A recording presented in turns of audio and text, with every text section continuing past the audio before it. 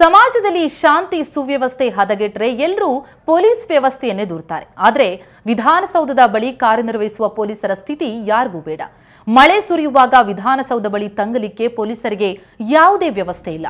ಮಳೆ ನೀರಲ್ಲಿ ಒದ್ದೆಯಾಗ್ತಲೇ ವಿಧಾನಸೌಧದ ಗೇಟ್ಗಳನ್ನು ಕಾಯಬೇಕು. ವಿಕಾಸಸೌಧ ಕಡೆ ಇರುವ ದ್ವಾರವನ್ನ ಹೊರತುಪಡಿಸಿ ಪಶ್ಚಿಮ ಭಾಗದ ದ್ವಾರ ಮತ್ತು ಹೈಕೋರ್ಟ್ ಕಡೆ ಇರುವ ದ್ವಾರಗಳಲ್ಲಿ ಯಾವುದೇ ಮೇಲ್ಛಾವಣಿ ವ್ಯವಸ್ಥೆ ಕೂಡ ಇಲ್ಲ.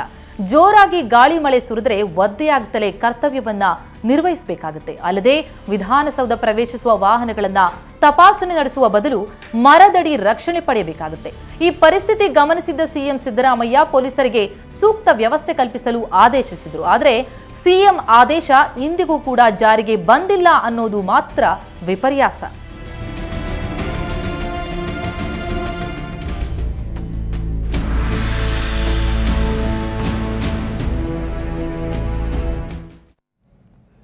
ಈ ಬಗ್ಗೆ ಹೆಚ್ಚಿನ ಮಾಹಿತಿ ನೀಡಲಿಕ್ಕೆ ನಮ್ಮ ಪ್ರತಿನಿಧಿ ಕಿರಣ್ ಈಗ ನಮ್ಮೊಂದಿಗೆ ನೇರ ಸಂಪರ್ಕದಲ್ಲಿದ್ದಾರೆ. ಕಿರಣ್ ನಿಜಕ್ಕೂ ವಿಪರ್ಯಾಸ ಅಂತ ಅನ್ಸುತ್ತೆ. ಎಲ್ಲರ ರಕ್ಷಣೆಗೆ ನಿಲ್ಲುವಂತಹ ಪೊಲೀಸರಿಗೆ ರಕ್ಷಣೆ ಇಲ್ಲ. ಅದರಲ್ಲೂ ಮಳೆಯಿಂದ ತಪ್ಪಿಸಿಕೊಳ್ಳಿಗೂ ಕೂಡ ಅವರು ಹೆಣಗಾಡಬೇಕಾದಂತಹ ಸ್ಥಿತಿ.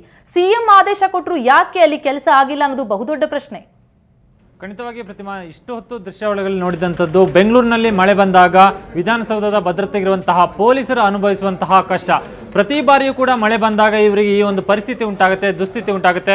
ಮಳೆಯಲ್ಲೇ ಕರ್ತವ್ಯ ನಿರ್ವಹಿಸಬೇಕಾದಂಥ ಅನಿವಾರ್ಯತೆ ಕಷ್ಟ ಎರಡೂ ಕೂಡ ಅವರಿಗೆ ಉಂಟಾಗುತ್ತೆ. ಅಲ್ಲಿ ಅವರು ಕರ್ತವ್ಯ ನಿರ್ವಹಿಸದೇ ಇರೋದಕ್ಕೂ ಕೂಡ ಸಾಧ್ಯ ಇಲ್ಲ.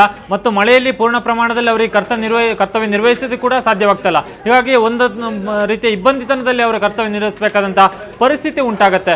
ವಿಧಾನಸೌಧದ ದ್ವಾರಗಳಲ್ಲಿ ಇರುವಂತಹ ಮೂರು ಪ್ರವೇಶ ದ್ವಾರಗಳಿಂದ ಅವುಗಳಲ್ಲಿ ವಿಕಾಸೌಧ ಕಡೆ ಇರುವಂತಹ ಒಂದು ದ್ವಾರದಲ್ಲಿ ಸ್ವಲ್ಪ ಮಟ್ಟಿನ ಮಳೆಯಿಂದ ರಕ್ಷಣೆ ಪಡೆಯೋದಕ್ಕೆ ವ್ಯವಸ್ಥೆ ಇರೋದೇ ಅನ್ನೋದು ಹೊರತುಪಡಿಸಿದರೆ, ಉಳಿದಂತೆ ಅಂಬೇಡ್ಕರ್ ಪ್ರತಿಮೆ ಇರುವಂತಹ ದ್ವಾರ ಇರ್ಬೋದು ಅಥವಾ ಕೆಂಗಲ್ ಹನುಮಂತಯ್ಯ ಪ್ರತಿಮೆ ಇರುವಂತಹ ದ್ವಾರ ಇರ್ಬೋದು, ಆ ಗೇಟ್ಗಳಲ್ಲಿರುವಂತಹ ಪೊಲೀಸರು ಮಳೆ ಬಂದಂತಹ ಸಂದರ್ಭದಲ್ಲಿ ತೀವ್ರವಾದ ಪಡಿಪಾಟಲ್ ಬರ್ತದೆ.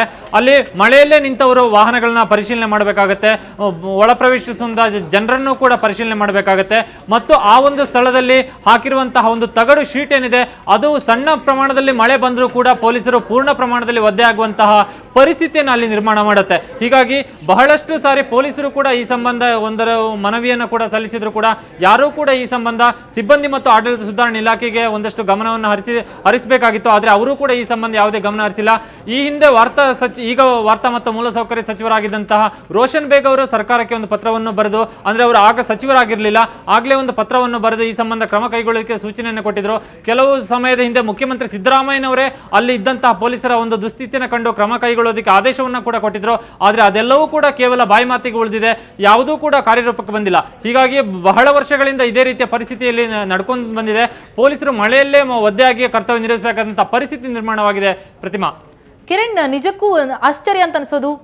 ಸಿಎಂ ಮಾತಿಗೆ ಕೂಡ ಬೆಲೆ ಕೊಡ್ತಿಲ್ಲ ಅಂತಂದ್ರೆ ಸಿಎಂ ಮಾತಿಗೂ ಕವಡೆ ಕಾಸಿನ ಕಿಮ್ಮತ್ತಿಲ್ವಾ ಅಧಿಕಾರಿಗಳಿಗೆ ಹಾಗಿದ್ರೆ?